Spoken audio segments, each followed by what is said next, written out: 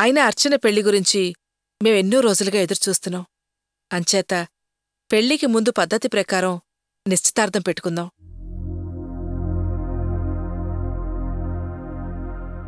దయచేసి మీరు ఒప్పుకోవాలి. ఆ, అలాగే వదిన గారు. కానీ కాస్త తొందరగా జరిపిద్దాం. ఎందుకంటే ఎక్కువ రోజులు లేవు కదా. అందుకని.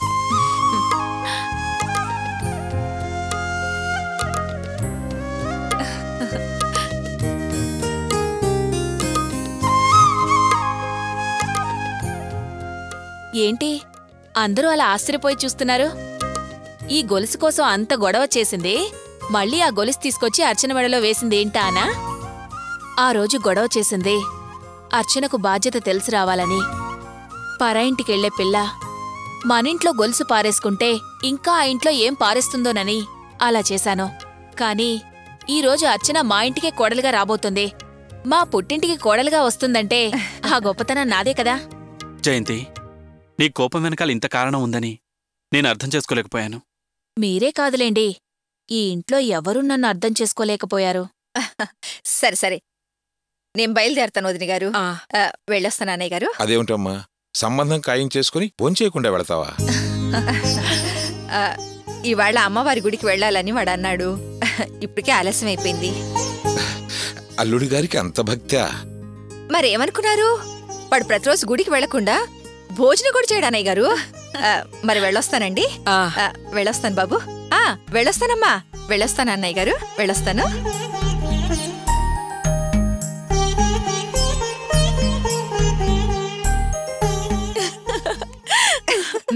అమ్మా.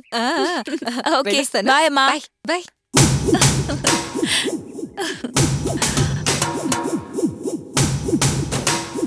బాయ్. ఏంటొదినా ఎప్పుడు చూసినా అర్చనని తిడుతుండేదానివి? ఇప్పుడు సడన్గా ఇంత ప్రేమనొలకు పోస్తున్నావు? ఇన్నాళ్ళు అర్చనకి నేను వదిన్ని. ఇప్పుడు అర్చన నాకు వదిన కాబోతుంది. అందుకే.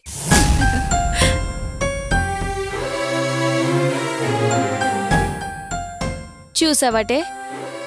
పని మనిషి కన్నా హీనంగా ఉన్న అర్చనకు దుబాయ్ పెళ్ళి కొడుకు దాని అత్తగారు ఆడపడుచు ఇప్పుడే నెత్తిన పెట్టుకుంటున్నారు. అంత టైం అనాలే. నేను కూడా దీనికే బడ్డీ కొట్టువాడో టీ కొట్టువాడో ఆఖరికి ఆటో డ్రైవరో భర్తగా వస్తాడు అనుకున్నాను అచ్చనికి ఫారెన్ మొగుడు దొరికాడు. అది అదృష్టవంతురాలేనే.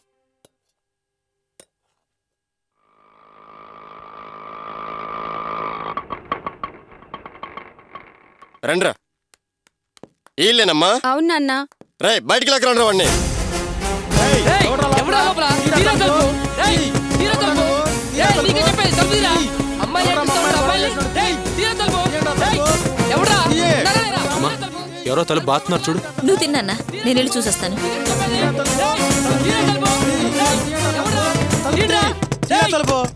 ఏయ్ ఏమిటి గొడవ? ఎవరు కావాలి? వాడిని పిలవండి బయటికి. ఎవరు కావాలి? ఎవరమ్మా? ఎవరు కావాలట? అయ్యా,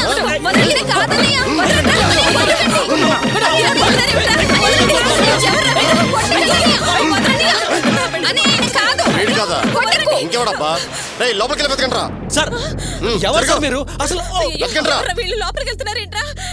వీడేనన్నా ఉమ్, లేపండ్రా. బతకండ్రా వాడిని. సార్ ఆగండి ఆగండి సార్ ఎందుకు కొడుతున్నారు? మధ్యలో నువ్వెవడురా? నేను వీళ్ళు అన్నాయను సార్. అన్నయ్యవా? నీ తమ్ముడిని ఊళ్ళో ఉన్న ఆడపిల్లందరినీ ఏడిపించమని పంపిస్తున్నావా? నీ తమ్ముడు ఏమైనా వస్తాదిరా? సార్ అది కాదు సార్. నా మాట సార్. అసలు ఏం జరిగిందో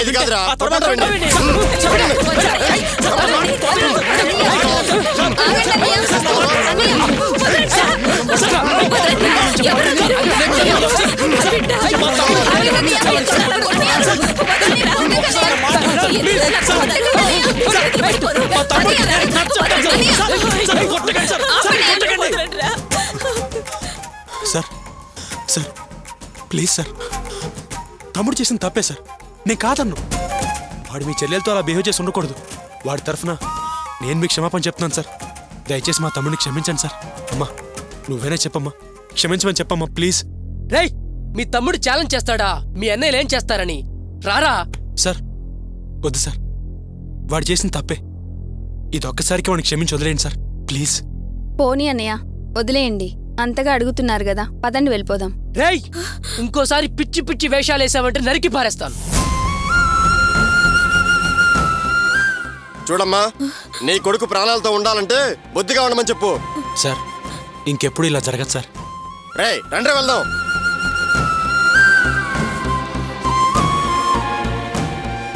తర్వాత చెప్తానే.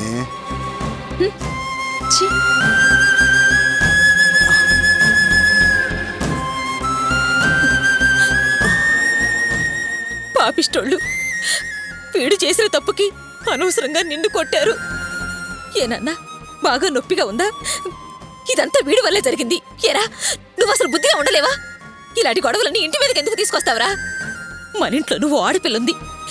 ఇంకో ఆడపిల్లని అల్లరి పెట్టడం తప్పని నీకు తెలియదురా? గోపి ఉన్నాడు కాబట్టి సరిపోయింది.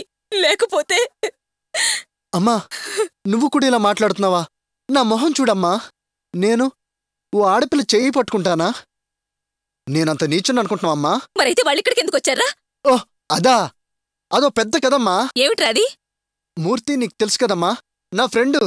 వాణ్ణి అమ్మాయి వెంటపడి మరీ లవ్ చేసింది. అది నమ్మి పాపం వాడు కూడా లవ్ చేయడం మొదలుపెట్టాడమ్మా. ఇక్కడ వీణ్ లవ్ చేస్తూనే ఆ అమ్మాయి కాలేజీలో ఇంకోటికి లైన్ వేసింది. ఓసి పాపిష్టిదానా? అవునమ్మా. అది నాకు తెలిసి ఒకరోజు వెళ్ళి చెల్లమ్మా ఏంటమ్మా ఈ పని? ఇలా చేయడం న్యాయమేనా? పాపం కదా అని అడిగాను. తను వెంటనే షాక్ అయిందమ్మా. తన ప్రవర్తన గురించి నేను మూర్తికి ఎక్కడ చెప్తానో అని భయపడి తను ఈ విధంగా చే- వాసు! చాలు. ఇక మీదైనా న్యాయ అన్యాయాల జోలికి వెళ్ళకుండా నీ పనేదో నువ్వు చేసుకో. అయినా ఆ అమ్మాయి ఎలా పోతే నీకెందుకురా? నువ్వెందుకు అనవసరంగా జోక్యం చేసుకుంటావు? వాళ్ళంతా మొరటి మనుషులా ఉన్నారు. ఇక మీద ఆ పిల్ల విషయంలో అమ్మా లోపలికెళ్ళు.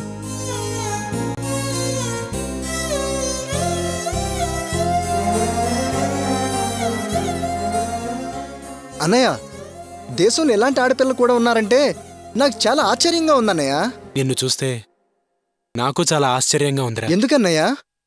నువ్వు పని మీద బయటికెళ్తున్నావు అనుకున్నాను కానీ ఒక ఆడపిల్లని అల్లరిపెట్టేంత నీచమైన స్థాయికి దిగజారుతావు అనుకోలేదు. లేదన్నయ్య. వద్దు వాసు. నాకంతా తెలుసు.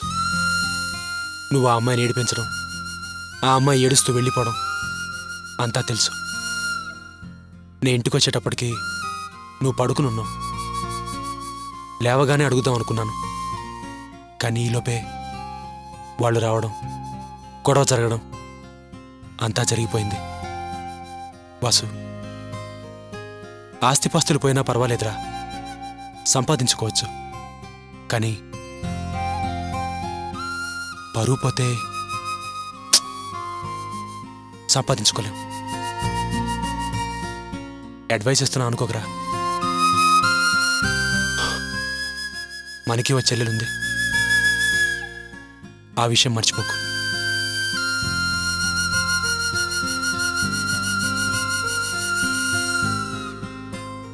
అవును. ఈయన గారు చెప్పగానే మనం వినేయాలా?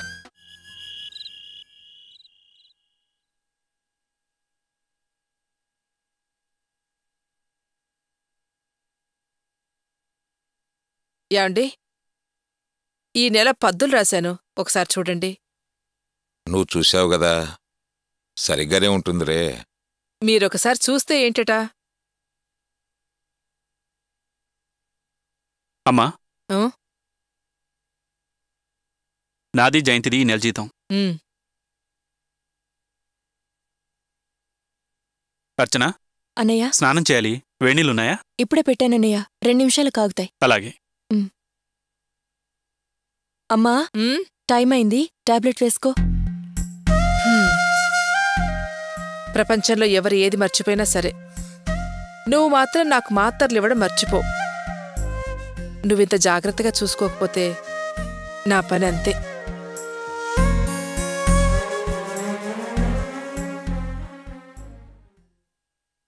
ఇదిగో అమ్మా నా నెల జీతం. అందులో ఒక వెయ్యి రూపాయలు తక్కువగా ఉన్నాయి.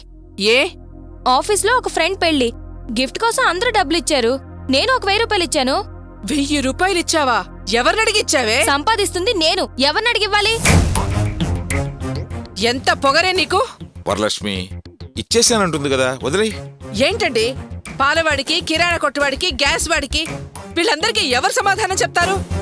ఒకేసారి వెయ్యి రూపాయలు ఇచ్చానంటోంది అమ్మా ఇప్పుడు నేనేమైనా అనవసరంగా ఖర్చు పెట్టానా? ఫ్రెండ్ పెళ్ళికి గిఫ్ట్ గానే కదా ఇచ్చాను. ఒసేయ్ ఫ్రెండ్ పెళ్ళైతే యాభయో వందో గిఫ్ట్గా ఇవ్వాలి. అంతేగాని వెయ్యి రూపాయలు ఇవ్వడం ఏమిటే నువ్వెవరో మహారాణి అనుకున్నావా? ఇంట్లో ఉన్న పరిస్థితులేంటో నీకు తెలుసు కదా. ఇదిగో దీన్ని పెళ్ళి చేయాలి. ఆ తర్వాత మీ ఇద్దరు ఉన్నారు. మీకు పెళ్ళిళ్ళు చేయాలిగా? వీటన్నిటికీ డబ్బులు నేను ఎక్కడి నుంచి తాను? ఇప్పటి నుంచి కొద్ది కొద్దిగా పొదుపు చేస్తానే కదా. నా దగ్గర డబ్బులు తీసుకుని దీని పెళ్ళికి దాస్తున్నావా?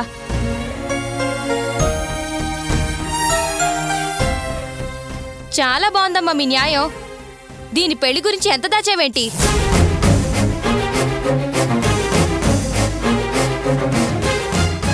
దీని పెళ్ళికి కూడా నేనే సంపాదించి తగలట్టాలా? ఏ? అందులో ఏంటే తప్పు? పదిహేడో ఏట నుంచి మీ అందరికీ చాకరీ చేసి తగలడుతోంది. దానికోసం ఇస్తే తరిగిపోతా చూడమ్మా. వరలక్ష్మి కావ్య నువ్వు లోపలికెళ్ళు. ఆగవే. అమ్మా. మర్యాదగా వెయ్యి రూపాయలు ఇక్కడ పెట్టి వెళ్ళు. ఇచ్చేసానని చెప్పాను కదా ఇప్పుడు ఎక్కడి నుంచి తీసుకురాను? ఏ? నెల నెల నీ సొంత ఖర్చుల కోసం దాచుకుంటున్నావుగా? అందులోంచి ఇవ్వు.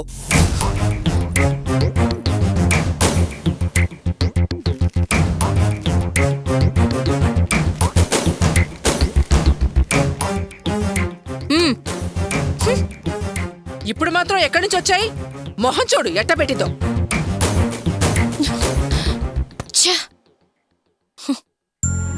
ఏమండి? మీకు కొంచెమైనా బాధ్యత ఉందా? వచ్చే డబ్బుతో ఇల్లు ఎంత పొదుపుగా గడపాలని నేను చూస్తుంటే మీరు దాన్ని సమర్థిస్తారేమిటి? దానికి వయసులో ఇంత దుబారా పనికిరాదని బుద్ధి చెప్పండి. ఎంత సంపాదిస్తే మాత్రం వెయ్యి రూపాయలు చదివిస్తుందా? ఎంత ధైర్యం ఉంటే ఆ విషయం ఇంటికొచ్చి చెప్తుంది? సర్లే వరలక్ష్మి అయిపోయింది కదా. ఏదో తెలియచేసింది నువ్వే కాస్త అర్థమయ్యేటట్లు చెప్పు.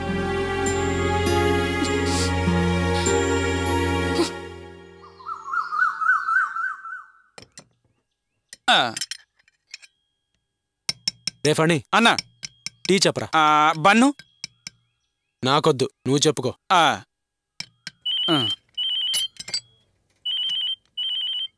హలో? హలో మెకానిక్ గోపి ఉన్నారండి? అవును సార్ నేనే మాట్లాడుతున్నాను. ఎవరండి? నేను లిబ్రా ఏజెన్సీ రంగారావు మాట్లాడుతున్నాను. చెప్పండి సార్. నా కార్ రిపేర్ అయింది. త్వరగా వచ్చి చూడగలవా? ఎక్కడున్నారు సార్ ఇప్పుడు? శంషాబాద్ దగ్గర ఉన్నాను. అయ్యో సార్ అది నా షెడ్కి చాలా దూరం సార్. పైగా ఈరోజు షెడ్లో నాకు చాలా పని ఉంది సార్. మీరు ఒక పని చేయండి సార్. కార్ తీసుకొచ్చి నాకు ఇచ్చేయండి నేను రెడీ చేసి పెట్టేస్తాను. అసలు స్టార్ట్ కావట్లేదయ్యా. అందుకే ఫోన్ చేశాను. ప్రభాకర్ చెప్పాడు నీకు ఫోన్ చేయమని. సార్ మీరు ప్రభాకర్ గారి పేరు చెప్పి నన్ను ఇబ్బంది పెడుతున్నారు. సర్లేండి సార్. నేను ఒక ఫార్టీ ఫైవ్ మినిట్స్లో వచ్చేస్తాను. మీరు అక్కడే వెయిట్ చేయండి సార్. ఆ, అలాగే. Okay sir. భగవంతుడా నేను వేడుకున్నట్టే నా బిడ్డకో మంచి సంబంధం కుదిర్చి నా దిగులు తీర్చావు తండ్రి. అలాగే ఈ పెళ్ళి ఏ అడ్డంకులు లేకుండా జరిగిపోతే నీకు పాలాభిషేకం చేయిస్తాను తండ్రి.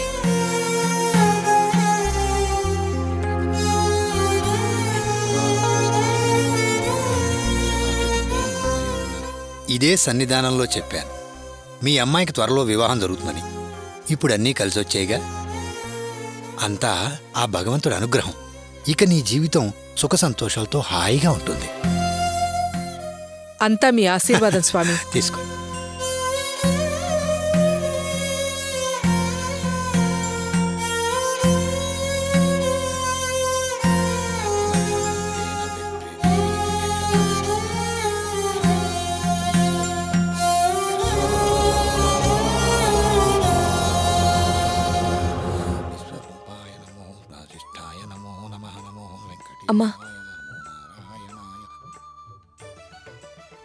వెళ్ళొస్తాం స్వామి. శుభం. వస్తాను స్వామి. వెళ్ళిరండి.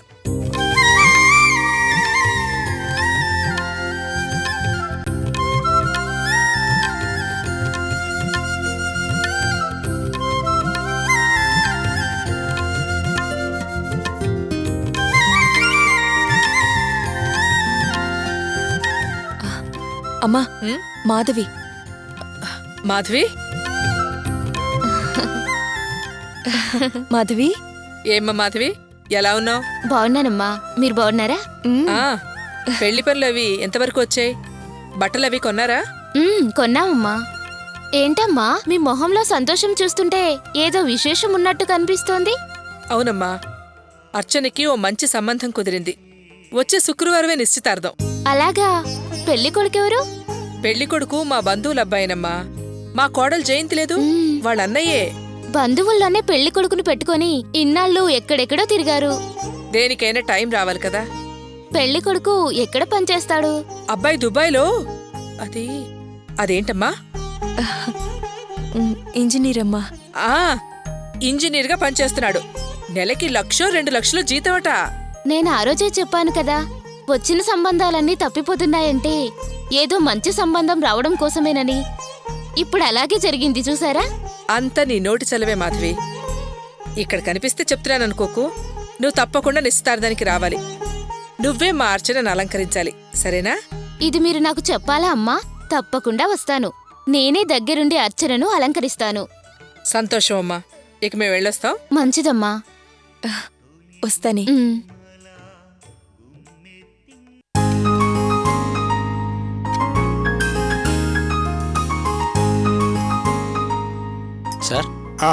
కార్ని ఈ మధ్య సర్వీసింగ్ చేయించినట్టున్నారు?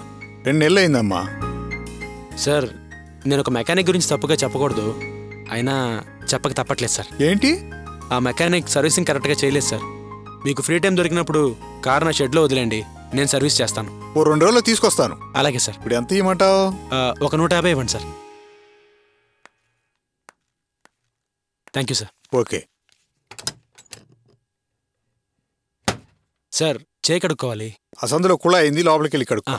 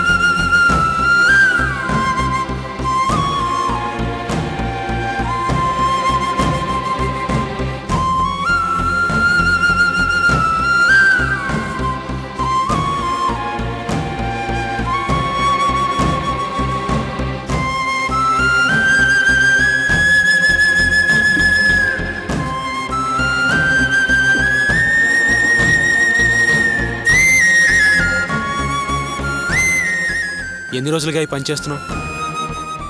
ఫ్రెండ్స్తో చదువుకుంటున్నానని స్పెషల్ క్లాసులని చెప్పి ఎన్ని రోజులుగా ఈ పని చేస్తున్నావు?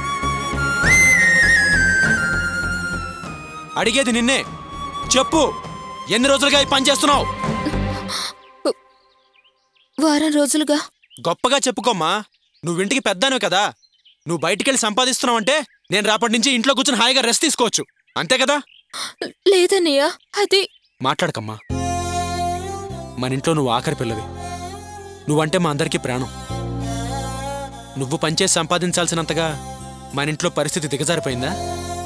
ఏమా ఇన్నేళ్ళు సంపాదించిచ్చిన మీ అన్నయ్య చచ్చిపోయాడు అనుకున్నావా అయ్యో అన్నయ్య ఏంటన్నయ్య ఆ మాటలు? లేకపోతే ఏంటమ్మా ఎవడో ముక్కు మొహం తెలియని వాడింట్లో నిన్న పరిస్థితిలో చూసేసరికి